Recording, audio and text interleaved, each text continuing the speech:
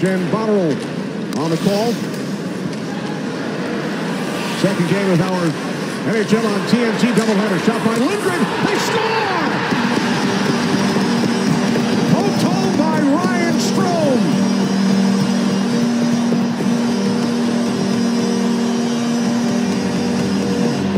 This place is rocking. You called it, Kenny. It was a shot. And the Rangers have some good fortune there as it ends up right in the stick of Ryan Strome, who's cruising in to the far post. Big smile there from Strome as the Rangers go from one end of the ice to the other. They gain the blue line with a great play by Panarin.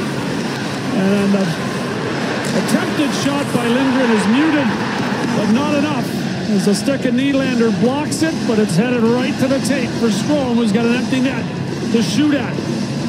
Campbell committed to the shot and gets some bad luck there as that puck goes right in the stick of Strome, who's got a tap in.